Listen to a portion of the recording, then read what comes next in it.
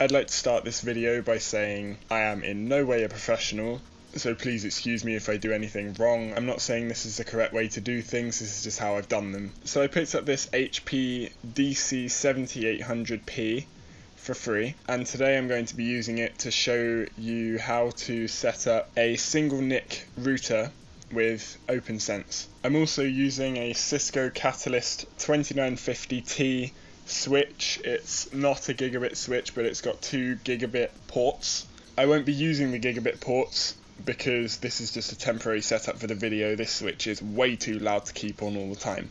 So let's begin by resetting the switch. So to reset this switch, switch it on or plug it in and hold down the mode button for about 10 seconds until the lights they will flash and then they will stop flashing and that's when you let go of the button. Takes a few minutes to boot back up but once it has, all the configuration will have been completely wiped and you'll be able to start from fresh.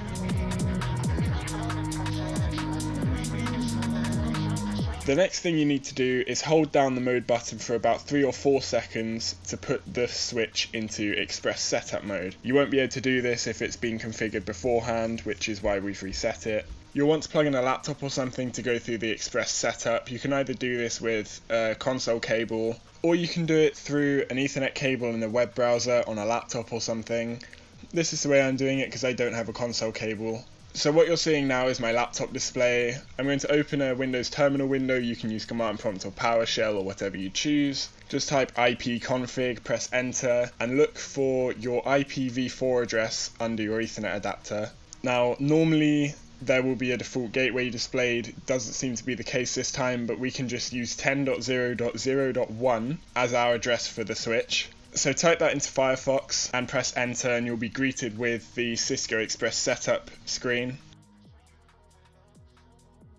You want to type in the IP address that the switch is going to be using, the default gateway which the switch is going to be using, uh, passwords, subnet mask, and make sure you enable telnet because we're going to be using that very shortly with PuTTY.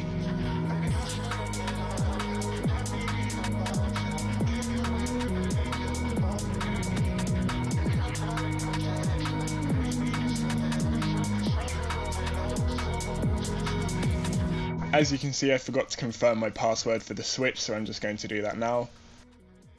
Once the page refreshes it will try to get to the new IP address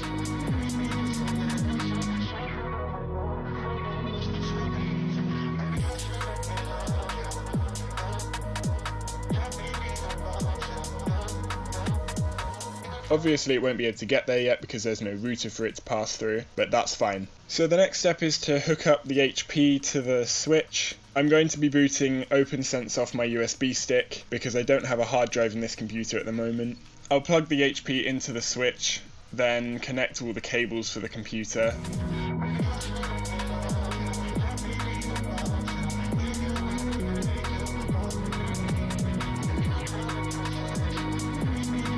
Then you want to start the computer up.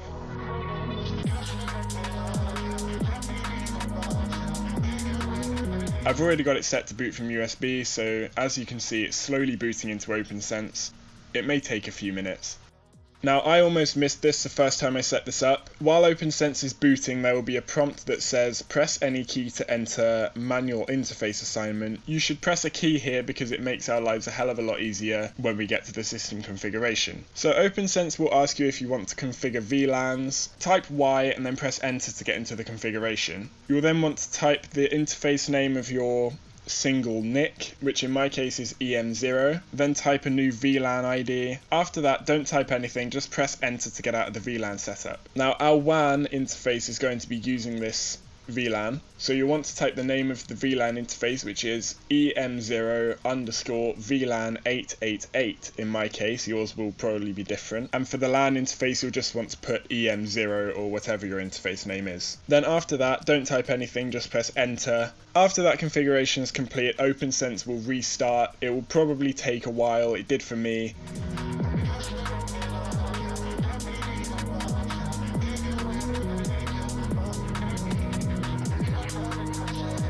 After it's restarted, you'll want to log in, type the number 2 and then press enter to get into interface IP configuration. Type the number for your LAN interface and then press enter. You do not want to configure the LAN interface via DHCP, you want to do it manually. So now you need to enter a new LAN IP address. I'm using 200.0.0.1. You'll want to enter a subnet bit count. I'm just going to use 24 because it's the default. For the next entry, just press enter. You don't need to type anything here. Again, just press enter. It will automatically set up IPv6 for you. Then type in Y and press enter to set up DHCP. You'll want to enter a start and end address. I'm using 200.0.0.100 and 200.0.0.200 respectively. After that, OPNsense will restart a few services and the configuration is mostly complete. So now I'm just plugging in my WAN cable. This is a cable which I've plugged into my regular switch, which is then connected to my ISP provided router, which is then connected to the internet. Once you've plugged your WAN cable in, you'll want to go back into OPNsense, press 2 again to get back to the IP configuration, choose your WAN interface this time, and then select yes for configuration via DHCP. Now for the most part we've configured OPNsense. We need to telnet into the switch and configure the ports on there. I'm going to be using PuTTY to telnet into the switch, but you can use any application that allows you to do it. PuTTY is just my program of choice. So you want to type in the hostname that you set up in Express Setup mode. For me, that was 200.0.0.241. You'll want to type in the password you configured for telnet access on the switch. And now you get to see how terrible I am with Cisco. So firstly you want to type enable to allow you to configure the switch, then type in configure terminal, then you'll want to type in VLAN and your VLAN ID, for me it's 888. Then you type in interface and then the name of the port you've connected your router to. So for me, that's the first gigabit port. So I'm going to type interface GI 0 slash 1. Switch that port to trunk mode and then exit out of that interface configuration. Then you want to type in interface and then the name of your WAN port. For me, that's GI0 slash 2. This is the port we're going to assign to the VLAN number 888. You want to set that to access mode and set it to use VLAN 888. So exit out of both of those and then type show VLAN just to confirm the configuration is correct. In my case, it is. Then finally, you can type copy running dash config space startup dash config and that will copy the current configuration to your startup configuration so nothing gets wiped. So now we can access the OPNsense web interface by typing in 200.0.0.1 which is the IP address we assigned to the LAN interface. Type in the default username and password which is root and OPN SENSE all lowercase.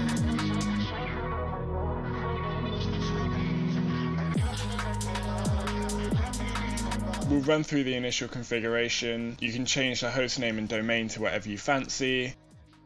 If you desire, you can turn off the override DNS option. This means that any DNS servers you set in OPNsense won't be overwritten by your regular router. You can basically just keep clicking next throughout all this.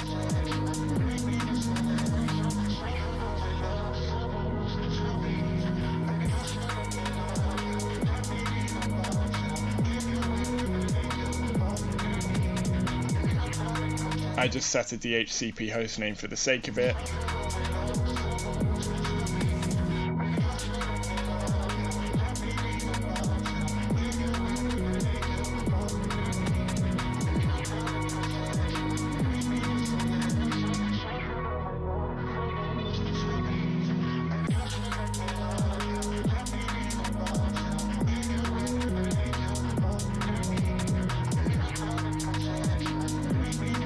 Finally click reload to apply all your new changes. And then you can test it by opening a new tab and going to any website that you know exists. And that concludes setting up a single NIC router with OPNsense. I hope you enjoyed the video or found it helpful. If you did, make sure you leave a like and subscribe for more content because I'll be uploading a lot more in the future.